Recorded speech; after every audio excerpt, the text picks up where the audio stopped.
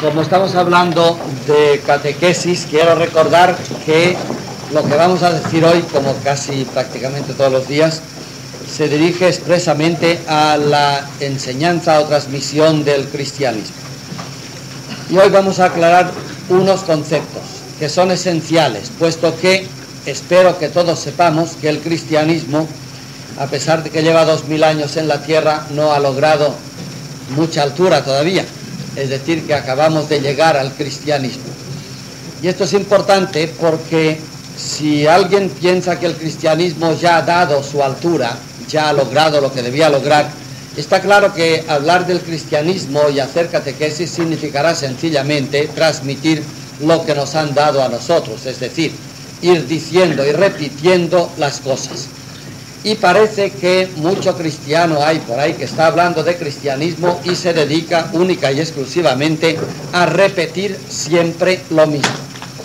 Yo diría que si en algún sistema filosófico o religioso el repetir cosas es siempre equivocado, en cristianismo es además pecado. No se puede repetir nada en el cristianismo, nada, ni siquiera los dogmas. Y como vamos a ver hoy desde el punto de vista de la conciencia, este es el punto de la lección, menos todavía desde el punto de vista de la conciencia. Para ello vamos a partir, como debemos partir siempre, del hombre. Quiero recordar una vez más para aquellos que no tengan práctica de estas cosas, que el cristianismo no es más que la vuelta al hombre. Es decir, ser cristiano no añade nada a ser humano lo cual significa sencillamente que si yo pongo un nombre cualquiera, por ejemplo, bueno, pongamos el genérico el hombre, homo, del cual vamos a hablar hoy. Está claro que aquí no le puedo poner humanus, porque esto es una tautología. Si digo el hombre es humano, no estoy diciendo nada, estoy repitiendo.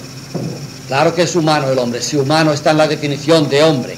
Bueno, pues si ahora pongo al lado de homo cristianos, también estoy repitiendo, cosa que parece que no entendemos.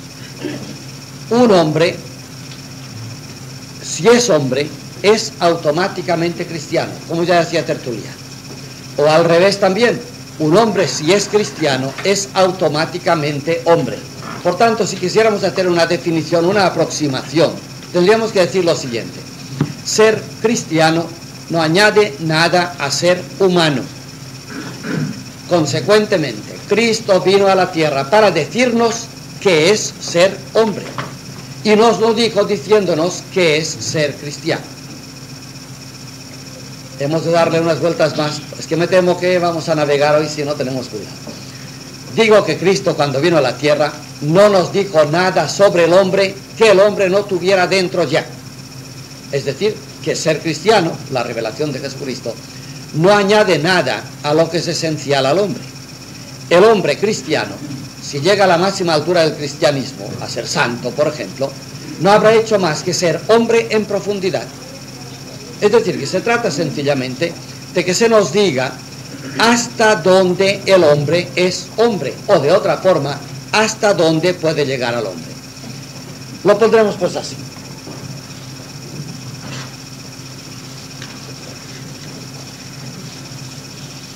Partimos de la misma palabra otra vez, ojo, y le ponemos una línea de historia, ese es el devenir del hombre, y aquí un interrogante. ¿Qué es ser hombre? Y eso que parece tan sencillo, bueno, sin complicaciones se puede responder fácilmente. ¿Qué es ser hombre? Pues ser hombre es ser hombre. Ya no tiene complicaciones. Pero ¿y qué significa ser? ¿Se acuerdan que alguna vez hemos dicho, si le hubiésemos preguntado al hombre paleolítico de hace dos millones de años, nuestro abuelo, con todos los respetos, ¿quién es el hombre? El paleolítico hubiese dicho, yo. El mono y el león y el perro no son hombres, el hombre soy yo. Y si apareciera ahora este paleolítico con con toda su barba y su pelo hirsuto, ¿verdad? Y sus, sus arcos supraorbitales así de gordos, de, de hinchados, la barbilla retraída. Un pequeño monstruo, un mono apenas domado, apenas llegado a ponerse en pie. Si apareciera por aquí y te dijera ahora, ven acá nietecito que te quiero dar un beso. Bueno, esto no te lo diría porque no hablaba. El paleolítico de la primera, del paleolítico inferior no hablaba. Pero te da un abrazo y te dice además que él es el hombre, es el representante único y típico del hombre paleolítico, el único que hay. Entonces, y si apareciera un poco más tarde, por ejemplo, un, un griego, ese ya tiene más cultura, ¿verdad? Y le preguntáramos quién es el hombre, el griego lo sabe muy bien, el hombre soy yo, está claro. Y este hombre griego era totalmente incapaz de volar hasta la luna o hasta Marte o de mandar satélites por ahí, de comunicarse por radio, pero era el hombre, el hombre soy yo. Y si nos preguntamos ahora nosotros, nos situamos en la Tierra y nos preguntamos, ¿quién es el hombre? Está claro que el hombre somos nosotros, ¿verdad que sí? Aquí estamos. Nosotros somos el hombre. Y si ahora corremos hacia el futuro, en el sentido de esta flecha, y le preguntamos al hombre dentro de mil años, ¿qué nos dirá el hombre de dentro de mil años? Pues el hombre soy yo. Entre la en la distancia que hay entre el hombre paleolítico y yo, es la misma que puede haber entre yo y el hombre dentro de 100 o 200 años. ¿Se acuerdan de Alvin Toffler? Desde que yo nací han pasado tantas cosas como pasaron antes de que yo naciera. Es decir, desde que el hombre llegó a la tierra hasta que nací yo, no pasaron más cosas ni más importantes que las que han pasado desde que nací yo. Es decir, yo estoy en el centro de la historia. Eso es correr, ¿verdad? Y ahora nos preguntamos y decimos, o sea que el hombre paleolítico que apenas hablaba, que hacía malamente un instrumento, este hombre es el hombre. Y saltamos a nosotros y decimos, y el mismo hombre soy yo. Y dentro de mil años o un millón de años, ¿cómo será el hombre si en 60 años han pasado más cosas y el hombre ha corrido más que en dos millones de años? Si esto va así, dentro de 60 años más, nosotros seremos paleolíticos. Y ahora, ahora se entiende la pregunta. Entonces, ¿quién es el hombre? Desde luego, una cosa es clara, nadie puede decirlo como terminal. El paleolítico puede decir, yo soy el hombre, sí, el único que conocemos en el paleolítico. Pero el hombre terminado, no. El griego pudo decir, yo soy el hombre, y era verdad. Pero el hombre final, el hombre cuando llegue a su máxima altura, soy yo, el griego, no. Y hoy nos preguntamos otra vez, yo soy hombre, pero hombre terminal. No, el hombre cuando llega a su máxima altura no será como yo. Y posiblemente, ciertamente, será más diferente de mí que lo soy yo del hombre paleolítico, es decir, del primer clan de, de, monos que llegaron puestos de pie a pensar. Bueno, tenemos una constatación, es decir, que el hombre, cada vez que le preguntan quién es el hombre, sabe contestar, el hombre soy yo. Parece que a lo largo de la historia, y hoy concretamente, el hombre tiene muy claro no solo que el hombre es él, sino que toda posibilidad del hombre está en él. Yo soy el hombre ideal. Más allá de mí ya no hay hombres. Esto es lo que pensamos más o menos, ¿verdad? Nos está costando aceptar que a lo mejor dentro de, de 100 o 200 años nuestros nietos serán absolutamente diferentes, absolutamente diferentes. Ya han visto desde la historia del tiempo de Hawking, que hay que leer, que hay que leer que vale la pena. Ahora estamos a punto, claro, el año 2000, siempre el año 2000, estamos a punto de, de dar la vuelta total a la humanidad, de forma que dentro de unos años las cosas serán absolutamente diferentes, absolutamente diferentes. No solamente porque lo podemos comunicar todo y lo podemos saber todo y podremos hacer trabajos en casa según nos apetezca a través de ordenadores que nos darán órdenes o podemos hacer cursos universitarios con los mejores profesores del mundo, sino que es que además hoy ya estamos en la posibilidad, y eso crea problemas morales que ahora hemos de ver, en la posibilidad de fabricar hombres a nuestro gusto. Hombres clónicos, por ejemplo, yo diré, ahora me servirían, eh, me interesaría tener, pues, dos enanos que me lavaran los pies, sin problemas. Clink, clink, te los fabrican. Y te los fabrican más rebajaditos de aquí, de forma que jamás lleguen a, a la huelga del 14 de diciembre. Naturalmente. Y ahora yo quisiera un media docena de hombres que me, pues yo que sé, que me cuidaran la casa, pero sin problemas. Te los programan de forma que su trabajo es barrer la casa, arreglarla, y no pasan de ahí, ni apetecen nada más. Qué brutalidad, ¿verdad? Una brutalidad de que fabriquemos hombrecitos, los medio hagamos, ¿eh? los calculemos bajitos, que nos sirvan de esclavos. Qué brutalidad. Hay una solución. Hay una solución. No se trata de coger hombres y decapitarlos, degradarlos un poco para que nos sirvan sin problemas. Podemos hacer al revés. Cogemos monitos y los elevamos.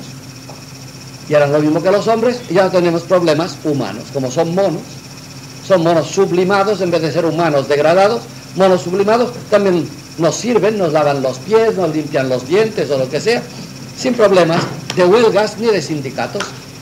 Bueno, estos son sueños, son sueños, pero que se pueden hacer ya, o casi, casi. Con lo cual uno está pensando, y eso es terrible.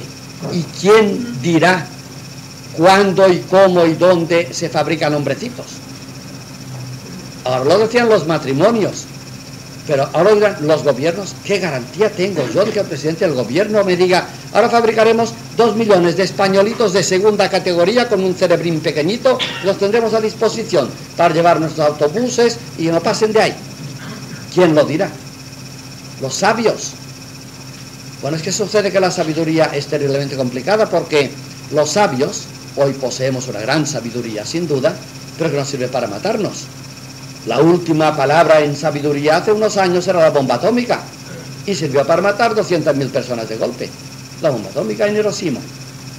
Los sabios, los gobiernos, la gente honrada y quién dirá quién es honrado. Es decir, que el hombre que viene, que no somos nosotros, es el que viene, es un hombre que va al encuentro de sí mismo, de la humanidad, dentro de unas dimensiones que hasta hoy nadie había sospechado ni el paleolítico, ni el griego, ni el hombre del siglo XX. Vamos a hacer un poquitín de historia y veremos por dónde sube el hombre. Hacemos historia de peldaños, estratificada, y ponemos el hombre primero, el que soporta el peso de la humanidad, este, que sería el paleolítico. Este hombre primitivo se llama Homo erectus. Con lo cual estamos diciendo, es el primer hombre, primero que podemos interrogar, estamos diciendo que opinamos que el hombre puesto de pie es el hombre. O mejor dicho todavía, el día en que el mono se puso de pie, pudo pensar y se hizo el hombre. Claro, es que puesto de pie significa mucha importancia, porque hasta ahora, todavía hoy, los animales arrastran su cabeza y sus ojos a ras de suelo y ven poco en cambio, un animal que es capaz de ponerse de pie y mirar como nosotros, la altura de metro y medio a la cual llevamos los ojos, hace que dominemos el mundo y que podamos coordenar el mundo por etapas sucesivas, por visiones superpuestas. Es decir, que el primer pensamiento ordenado posiblemente se debe a la postura de pie. Es posible. La antropología parece que va por ahí. Bien, Homo erectus. Es decir, que el Homo erectus, el estar de pie, es lo que hace que el hombre, salido de la selva, pueda ir ordenando unas pocas ideas, que no puede expresar demasiado bien porque no habla, pero que por lo menos va pensando. He dicho que el Homo erectus tiene además la ventaja de no solamente de ir de pie, sino de ir alejado del suelo y de poder ordenar el cuadro de las cosas que ve, de tener ideas de conjunto. Con lo cual diremos que ha nacido el primer hombre. El hombre, pues, es aquel ser que es capaz de pensar. Desde luego habrá que decir que para aquellos que no estén acostumbrados a lo que estamos diciendo, hemos de recordar otra cosa. Pensar linealmente, pensar dos o tres cosas seguidas, esto lo puede hacer el mono y lo hace. Eh, pensar en el hombre es pensar y reflexionar. Es decir, pensar una cosa y ser capaz de pensar lo pensado. Yo pienso que dos y dos son cuatro. Esto es un pensamiento. Pero luego tengo la capacidad, como erectus que soy, de volver sobre mi pensamiento y decir, yo he pensado que dos y dos son cuatro, un pensamiento. Pero cuando he pensado que dos y dos son cuatro, he pensado bien. Eh, ahora pienso mi pensamiento. Y esto es hasta el infinito. Y digo, sí, cuando he pensado que dos y dos son cuatro, he pensado bien. Y ahora vuelvo otra vez sobre mi pensamiento. Y cuando yo digo que he pensado bien, cuando he pensado que dos y dos son cuatro, he pensado bien. Ya no, se trata de dos y dos dos son cuatro, sino del pensamiento reflejo. He pensado bien cuando he dicho que dos y dos son cuatro y puedo contestar la tercera vez. No, creo que no. Otra pregunta. Y cuando he dicho que creo que no he pensado bien, cuando he pensado que dos y dos son cuatro, he pensado bien. Y así sucesivamente. Esta capacidad de coger el pensamiento y darle vuelta al pensamiento, enfocar el pensamiento sobre sí mismo, esto se llama reflexión y esto es lo típico del humano. Este Homo erectus, a fuerza de ir de pie y de poder coordinar cosas y reflexionar, criticar su propio pensamiento, llegó pronto a ser una segunda etapa el Homo faber. Bueno, tampoco es gran milagro. El Homo faber es el hombre, pues, fabril, pero no de fábrica. ¿no? Faber significa instrumentalista, el que sabe hacer instrumentos. Con lo cual es un largo paso. El hombre que fabrica un instrumento es aquel que es capaz de, claro, entra en batalla o en lucha con un león o con un semejante, con otro hombre. Y si es a base de puños, el puño más fuerte es el que vence. Pero el hombre descubrió que si tú sabes que vas a enfrentar con uno más fuerte que tú, con tal que en vez de manejar el puño aquí, a, a 40 centímetros, a 60, lo manejes a 120, un palo, por enano que seas, le puedes algo. El caso de Caín y Abel, con una quijada de burro lo mató. La quijada de burro añade fuerza, es el instrumento. El hombre es capaz de fabricar instrumentos, es decir, no solamente de pensar, sino de pensar cómo hará para que en tal circunstancia las fuerzas se le multipliquen. Bueno, pues el Homo Faber, el hombre capaz de fabricar instrumentos, el hombre instrumental, ya saben que los instrumentos hoy en día son determinantes para el hombre, por ejemplo los liki que excavan en, en Etiopía, siempre para ver si sus, los huesos que están manejando de alrededor de dos millones de años son huesos humanos o son homínidos solamente, van buscando en torno a los huesos instrumentos. Si hay instrumentos, ciertamente se da por sabido que son hombres los que los manejan. Si no hay instrumentos, no es nada seguro. El fuego, por ejemplo, donde hay cosas quemadas, ciertamente hubo instrumentos. El instrumento llegó a ser de tal categoría que en el neolítico este hombre Faber inventa la rueda, posiblemente el invento más trascendental de toda la humanidad, tan trascendental que todo va sobre ruedas. Supriman ustedes la rueda hoy y quedamos todos paralizados, pero todos, la luz misma, no tendríamos ahora luz, no podríamos hablar, yo no hablaría sin ruedas, ni ustedes me entenderían, por lo menos a través de, instrumentos, no, la rueda lo, lo, hace todo. Y parece que fue circunstancial el invento de la rueda. Quizá puliendo un cuadrado, el hombre vio que... Y de golpe se dio cuenta, claro, la cosa rodando jamás termina. Es el infinito la rueda. La primera idea de infinito. Claro. ¿Hasta dónde puede rodar una rueda? Hasta siempre. Las cosas tienen final. La línea tiene final. Lo redondo no tiene final, en absoluto. Así que el Homo Faber ha dado un paso más y muy serio ya estamos acercándonos mucho a nosotros. Después de Faber viene el Sapiens. Lo curioso es que este Sapiens somos nosotros. Después de Cromañón ya el hombre es Sapiens. Y se ha inventado la palabrita él, modestia aparte. Yo soy Homo Sapiens. Notar que todo esto, esto es importante para lo que vamos a decir ahora del cristianismo, todo esto supone el anterior. El Homo Faber se monta sobre el erectus y el Homo eh, sapiens se monta sobre el faber y sobre el erectus. Si el erectus se quita, si perdemos eh, la erección, entonces todo, esto, eso se va para abajo. El homo, el homo faber supone el erectus, el sapiens supone el faber. Y este sapiens se puede llamar sapiens porque maneja instrumentos y porque camina de pie. Lo que pasa es que desde Cromañón y sobre todo desde que, desde que aparecieron las culturas, Babilonia, Grecia, Egipto, Roma, el Homo sapiens ha ido dando a entender, como el sapiens de hoy, que de ahí no se pasa. Más que sapiens, ¿qué quieres ser? Si eres sabio ya, el hombre sabio, ya no permite más altura, ¿verdad? Y veremos que en este momento de sapiens es cuando aparecen las culturas, aparece el cristianismo, del cual vamos a hablar enseguida, pero hemos de tener muy claro que tanto este, cuando era el único, como este, como este, cuando están en su altura, se creen ser el último. Este es el hombre en aquel tiempo. Este es el hombre en aquel tiempo. Este es el hombre en aquel tiempo. ¿Se puede pasar más allá de sapiens? Ya no. Ya no. Hemos tocado el techo ya. No se puede pasar más allá de sapiens, no, porque lo que hace que el hombre sea hombre es justamente su capacidad de reflexionar, su sabiduría. Luego, Homo sapiens es el final, el que explota todos los, los instrumentos e inventos de los anteriores, los conjuga, los compone y se hace un hombre prácticamente infinito, la última palabra de hombre, Homo sapiens. Los griegos, los romanos y nosotros mismos hemos pensado mil veces que el Homo sapiens que somos no se superará. Últimamente, hace 300 años, en Francia apareció la diosa razón con dejar el racionalismo y hemos dicho que además sapiens es, no solamente sapiens es lo último, sino que sapiens es la razón. El hombre sabio lo es por la razón. Es decir, que el hombre más hombre es el Homo sapiens. Y el hombre que es más hombre porque es sapiens es además sapiens por la ratio.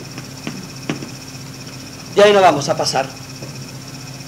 Bueno, y ahora, justamente ahora es cuando nos damos cuenta. Un momento, que sapiens sea la última palabra en hombre, sapiens racional, no es nada claro, porque ahora descubrimos hace unos pocos años que sapiens racional puede emplear su sabiduría racional para exterminarse a sí mismo.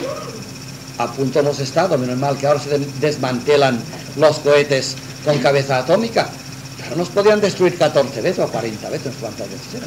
El mundo estaba en manos de un botón rojo y ese botón podía destruir el mundo 40 veces, no una vez, por si fallaba una vez. O sea que Sapiens piensa bien, ¿eh?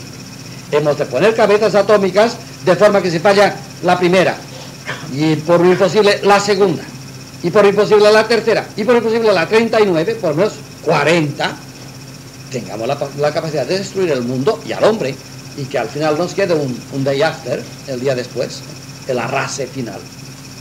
O sea que el hombre sapiens, con su racio, es capaz de autodestruirse. Es decir, no es sapiens. No es sapiens. Si el hombre es capaz de hacer con su saber aquello que no le conviene, este saber es un saber que no conviene. O el saber no es la última palabra cuando se trata del hombre. Y ahí estamos. Ahora hemos descubierto, aparece, este viene tímido, muy tímido porque acaba de aparecer, todavía no le han hecho el vestido, es el Homo Ludens. Este se está poniendo de moda. Lo curioso es que se habla mucho ahora de, cosas lúdicas y lo lúdico, y me da la impresión de, que, los que hablan de lúdicos son erectus más o menos, porque no saben por dónde andan. Lúdicus es algo muy serio, por eso he hecho la gran excursión que hemos hecho de casi media hora por todos estos hombres. ¿eh? Ludens, que acaba de aparecer, es el hombre que está por encima de sapiens, que era la última palabra durante siglos, que está por encima de Faber y que está por encima de Erectus. Es decir, el Homo ludens no es un Erectus que, juega, el ludens es jugar, ¿eh? ludo es jugar. El Homo ludens no es un Erectus que juega, un Erectus que juega no es ludens, ¿eh? es un Erectus. Cuidado. Ni es un Faber que juega. Un Faber jugando es un Faber jugando, pero no es un jugante que es lo que ahora veremos. Es sustantivo, estos adjetivos se hacen sustantivos rápidamente. Y sapiens, si se pone a jugar, no será un ludens. Un ludens no es un sapiens jugando, es un super sapiens jugando. Es lo que viene después del sapiens. Luego, mil sapientes jugando no son un ludens. Como mil erectus, eh, haciendo de Faber, si fuera posible, no serían Faber. Como mil Faber si, haciendo de erectus, no son Faber. Es una, es, configura al hombre este adjetivo. Homo erectus es erectus, lo que define al hombre, como homo faber es lo que define al hombre. Bueno, pues ludens, cuando llegue, que está llegando, es lo que le define al hombre. El ser jugador, juguetón, ludens. Ahora veremos por dónde va el tema. Pero repito, no es sapiens ludens, no es sapiens ludens, es sapiens que a fuerza de sudar ha parido el ludens. El ludens es sapiens como es eh, Faber, como es Erectus, pero no es el terminal, está por encima. Es decir, que si ahora todos nosotros nos pusiéramos a jugar, como explicaré, no seríamos ludentes todavía. ¿Por qué? Porque ludens viene y viene tímido y, lo veremos dentro de, yo qué sé, de 20 o 30 años, el año 2000, por decir una fecha. ¿Y qué es lo que hace que el hombre sea ludens? Ahora intentaremos la descripción y vamos enseguida a la catequesis. Es evidente que para los catequistas, si catequizan un erectus, habrán de adoptar una terminología de erecto, ¿verdad? Claro, y si catequizan un Faber, pues terminología de Faber. No hay ustedes al Faber que maneja la rueda con términos de erecto. Faber se reirá de usted. ¿Por dónde me tú ahora con esas palabras? Y no vayas a un Sapiens con terminología de Faber. Ven ustedes como siempre hay que renovar las instrucciones que hemos dicho al principio. Y parece que los cristianos que están instruyendo, pues están instruyendo a Fabri o están instruyendo a sapientes. Sin más, estamos repitiendo siempre las mismas cosas.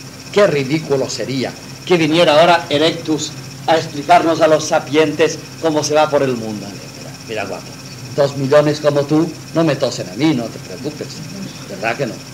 Bueno, pero es que estamos haciendo cada día lo mismo. Estamos en una época aquí en la frontera entre, en un momento en que se engendra un hombre nuevo, el Homo y seguimos tratando con sapientes. Y sobre todo cuando se trata del cristianismo, que es el que lleva al hombre a su extremo, ¿ven? ¿Quieren que adelante una idea? ¿Qué es lo que hizo que Erectus pasara a Faber? El ser cristiano. ¿Qué? Faltaban dos millones de años para Cristo. ¿eh? Ser cristiano es volver a la raíz del hombre. Escoger al hombre por su cogollo y tirar de él hasta que evoluciona, hasta que se estira. Y lo que hizo que Faber pasara a Sapiens es el cristianismo. Y lo que hace que Sapiens pase a Ludens hoy es el cristianismo no la religión cristiana, no, no, no, no, no. El empuje divino que lleva el hombre dentro de sí, sobre el cual nos llamó la atención Jesucristo. El hombre puede ir para adentro, mirar para adentro y decir, yo soy un hombre, y no sabrá qué dice. En cambio, Cristo te dice, tú mira para adentro y vas a descubrir que dentro llevas fuerzas que te están haciendo ser el que eres, pero que cuando vayas siendo más el que eres, cada vez te empujarán más estas fuerzas. ¿Ves? La fuerza, la manera de matar la fuerza es parar la fuerza. Es decir, yo, yo soy Faber y me basta. así la fuerza me empuja. Pero cuando dice, no, no, yo quiero que la fuerza empuje, bueno, pues te llevará de Faber a Sapiens, y cuando seas Sapiens, tú dices, quiero que siga empujando la fuerza. La fuerza empujará y saldrá el Ludens, por ejemplo o el hombre que eras ayer a los 30 años y ahora a los 40 ya no eres el mismo, y ha sido el empuje de una fuerza infinita. Esto se llama Dios, que llevas dentro. Por eso Cristo vino a decirnos con el dedo, mirad para adentro y os daréis cuenta de que el hombre dentro de sí mismo es infinito. Pascal decía, el hombre supera infinitamente al hombre. El hombre que podemos llegar a ser está a una infinita distancia del que estamos siendo. Es bueno que Sapiens lo sepa, el guapo. El hombre que estamos llamados a ser y que podemos ser, esto ha sido Cristo que nos lo ha dicho, supera infinitamente al hombre que estamos siendo. Cuando logres la meta de Sapiens, ya por el horizonte viene otra meta. Y cuando llegas a la meta de Ludens, ya por el horizonte viene otra meta. Y siempre llegarás a una meta, pero siempre será penúltima, nunca última, porque la meta que tú deseas, a la cual caminas, es una meta de infinito. No termina nunca. Con lo cual estamos diciendo lo seriamente que comprometen estas verdades. Es decir, que lo que estamos siendo no es lo que debemos ser. Que lo que debemos ser está a infinita distancia de lo que estamos siendo. Que dentro de nosotros llevamos montones de fuerzas que están aullando dentro para que les demos salida y las tenemos arrojadas. Es decir, hay empuje de hombre por dentro que conquistaría 200 de Everest ahora mismo y no los conquista porque lo tenemos arrojado aquí dentro. El hombre que soy no se contenta con el hombre que estoy siendo. El hombre que soy de verdad empuja y rompe desde dentro el hombre que estoy siendo, siempre hacia más arriba. Esto es el cristianismo. Cuando alguien dice, no, el día que el hombre, se dice mucho hoy, el día que el hombre tiene un pan, un trozo de pan que llevarse a la boca, y una justicia administrativa y una justicia equitativa de distribución entre los humanos, la humanidad será feliz. Oye, esto era el abuelo de Erectus el que lo decía. El que lo decía. Y el abuelo de Erectus era Póngido. No era humano. El abuelo, Erectus es el primer humano. ¿eh? El abuelo de Erectus no es humano. Y hoy estamos ciertos humanos hablando y diciendo bobadas anteriores a Homo erectus. El día que el hombre tenga un pan que llevarse a la boca será feliz. El día que el mundo impere la justicia, el hombre será feliz. El día que la paz domine la tierra será feliz. Entonces el hombre a la dimensión de los enanitos que decíamos antes, rebajados. No. Cuando el hombre lo tenga todo, querrá más. El hombre es insaciable. San Agustín lo dijo de una forma increíble. Tú nos hiciste para ti, Señor. Y este ti de Dios es el infinito. Nos hiciste para ti, Señor. Y andaremos inquietos y requietos, dice él, ¿eh? sin paz, turbados así, nerviosos. Andaremos irrequietos siempre hasta que lleguemos a ti, que es el infinito. Luego este hombre, ¿por qué no se contentó? Uy, porque por dentro le empujaban. Fíjate qué maravilla. ¿Por qué no somos erectus? Porque los erectus no se contentaron con lo que tenían. ¿Y por qué no se contentaron? Porque alguien empujaba por dentro, que erectus no lo sabía decir, evidentemente. Y, y Faber, ¿por qué no es la última palabra ya? Porque Faber, siendo Faber, sintió que le empujaban de dentro y siguió caminando y llegó Sapiens. Y Sapiens ha dicho que ahora estamos en el peligro. Sapiens dice que él es la última palabra. Pero ¿por qué no es la última palabra Sapiens? Porque Sapiens, si no, ha, matado los gritos que lleva en su interior, sigue ambicionando más de lo que tiene, más de lo que tiene. Y por tanto, apunta ya al hombre del cual he de hablar a continuación. Es decir, que Jesucristo en realidad no hizo más que venir a decirnos lo que estamos diciendo. ¿Sabes por qué no eres tú un erectus? Bueno, lo somos, esto, esto supone siempre el interior, pero ¿sabes por qué no paras tú en erectus? Porque erectus era un descontento y eso lo llevas tú dentro. ¿Sabes por qué no paras en Faber? Porque Faber era un descontento, un revolucionario. Eso es Cristo que lo dice, como con el dedo en el cogollo del hombre. No dice, podía haber dicho Cristo, a lo mejor algún cristiano lo piensa, y cuidado con el catecismo. ¿Sabes por qué el Homo erectus, el, el animalete ese de hace dos millones de años, no se quedó emberrido? ¿Sabes por qué? Hombre, porque vino Jesucristo y nos bautizó. Eso da a entender que viene de fuera. Cristo nunca viene de fuera, viene de dentro. ¿Ven? Por tanto, Cristo no viene a decir, mira, Erectus, si quieres ser Faber, ¿qué le pondrían? Pues bautízate. No, no. Erectus, ¿quieres ser Faber? Suponiendo que Erectus hubiese sabido que había Faber por ahí por venir. Erectus, ¿quieres ser Faber? Pues no pongas freno a tus apetencias. Te empujan de dentro, abre puertas. Y llega Faber. Y cuando llega Faber recién estrenado, ¿Quieres seguir adelante? Sí, pues no cortes. Tú abre puertas. Llega Sapiens. Y ahora estamos en Sapiens. ¿Tú quieres seguir siendo Sapiens? ¿Quieres quedar ahí? ¿Crees que eres la última palabra? ¿O quieres continuar? ¿Quieres continuar? Pues abre puertas, te empujan de dentro, deja que te empujen. Es decir, que el cristianismo nos ha enseñado, no nos ha dado desde fuera, nos ha enseñado quiénes somos por dentro. Y esto se dice en la expresión de Cristo que ya cité el otro día de Calcedonia. Cristo es hombre verdadero porque es Dios verdadero. Un hombre no puede ser hombre verdadero si Dios no está por dentro. Claro, el infinito que empuja siempre hacia arriba o hacia más allá. Y es de Cristo. Cristo es el modelo, el modelo de los hermanos que somos nosotros, y en él se define en Calcedonia 451 que es hombre verdadero porque es Dios verdadero. Con lo cual se dice que Cristo es un hombre total y completo. Ya dije que el imperio romano así lo ratificó, ¿verdad? Pilato, sin saber lo que decía, otro sapiens que no sabe lo que dice. Lo saca fuera, Pilato a Jesús dice, eche homo, este es el hombre. Fíjate, no era ni este, ni este, ni este, ni este, ni este, ni este, el hombre, el que ambicionamos todos, el que ya ha llegado a Dios. Nosotros caminamos a Dios y estas son las etapas de nuestro camino. Cristo ha llegado ya a Dios. Cristo es Dios. Y ese Dios que es, es el que le hace ser hombre de verdad. Así es la grandeza del hombre. La vocación del hombre es infinita y por debajo del infinito el hombre siempre estará descontento. Nos hiciste para ti, Señor, y andaremos irrequietos hasta que descansemos en ti. Bueno, entendido esto, ahora será fácil añadir dos palabras y luego descansamos un poquito y hacemos el final de la lección que es lo más bonito. Vamos a Ludens. He dicho que Ludens no es solamente un adjetivo que añadimos al, sapiens, por ejemplo.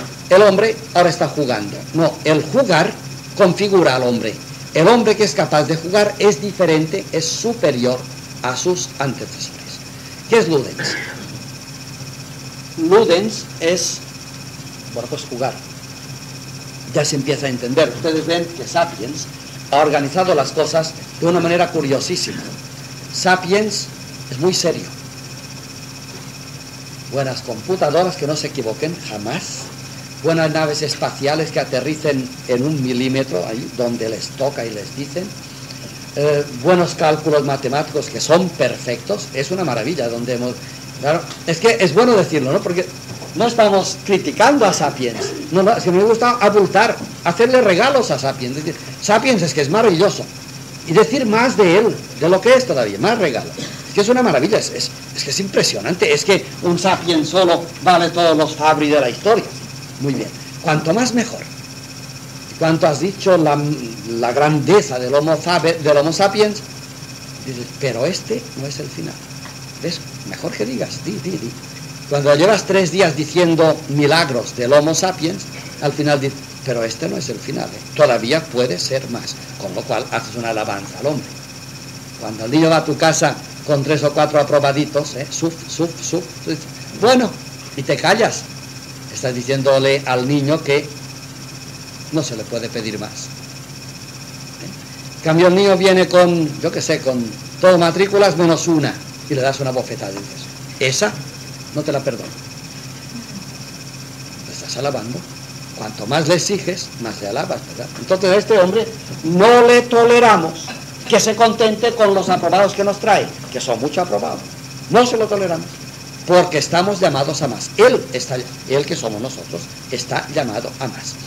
Este hombre que ha ordenado tan perfectamente las cosas y que realmente domina la creación y no solamente los suburbios nuestros, sino que ya se va de excursiones por la Luna y, hacia Marte de forma todavía inhumana, pero se va. Este hombre tan sabio, capaz de hacer estas maravillas que maravillan el mundo, se ha dado cuenta de que la razón no lo es todo, porque con la razón se puede hacer daño.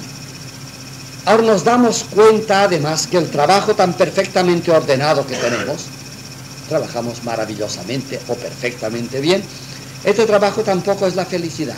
Más bien, el trabajo que hacemos está creando paro por un lado y está creando desinterés por otro.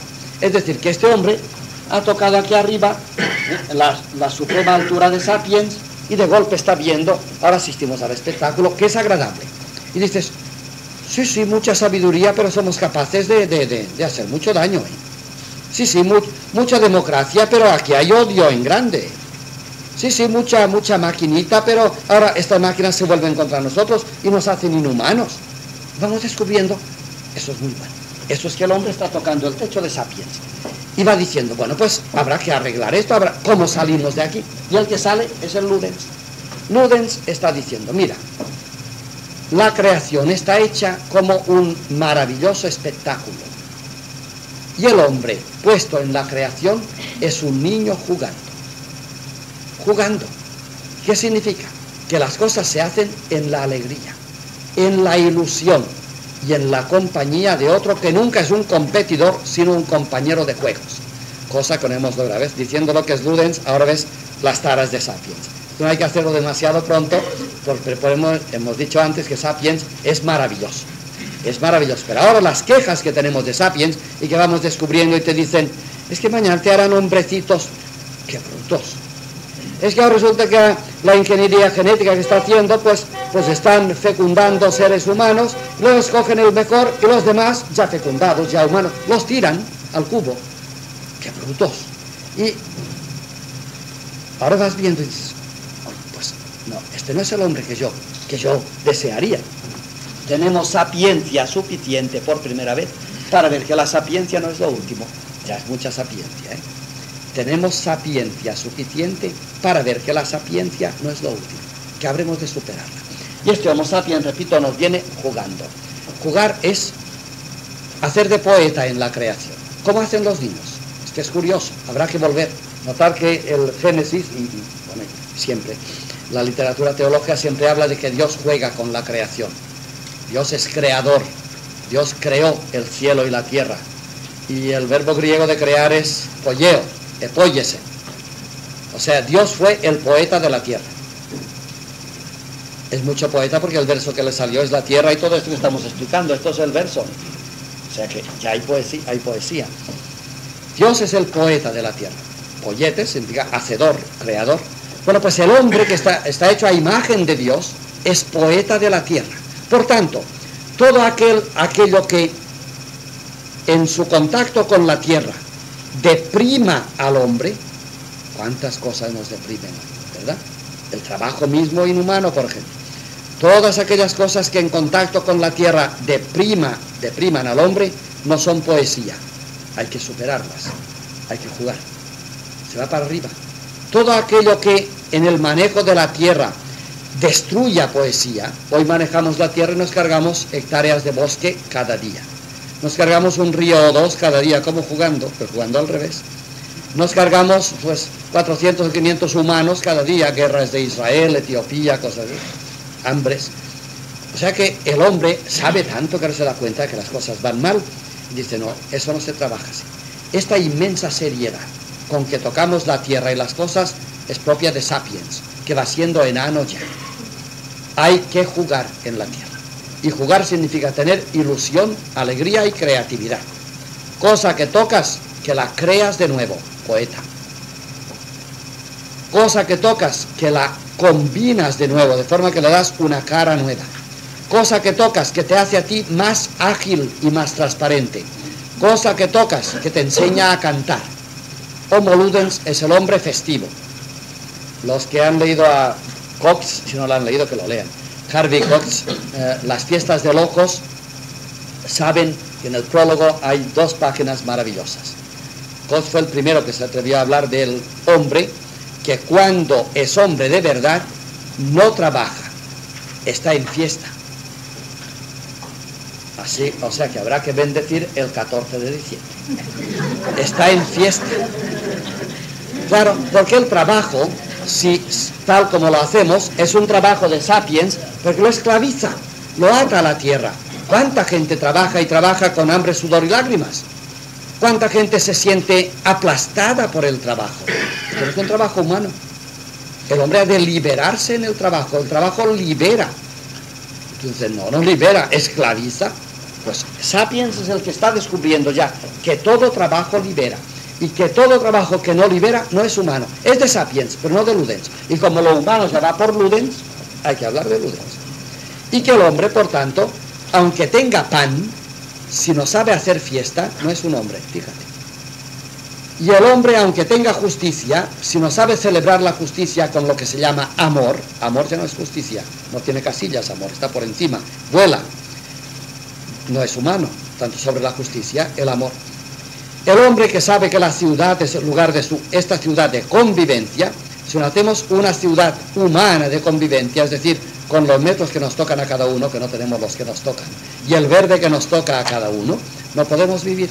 Y por eso las ciudades son fuentes de, guerra, de, de, opresión o de tiranía, porque nos encontramos mal en una dimensión que no es la nuestra. Bien, y ahora ya termino para que descansemos un poco, porque ahora partiremos de ahí he dicho que ser cristiano es dejar que empujen por dentro las puertas que todos llevamos de Erectus a Faber, de Faber a Sapiens y ahora de Sapiens a Ludens. Ludens ahora aparece nuevo, completamente nuevo. Lo que antes era trabajo, ahora será juego. Ustedes se han dado cuenta que vamos para aquí. Todos mal decimos el trabajo, pero ahora el fin de semana nos vamos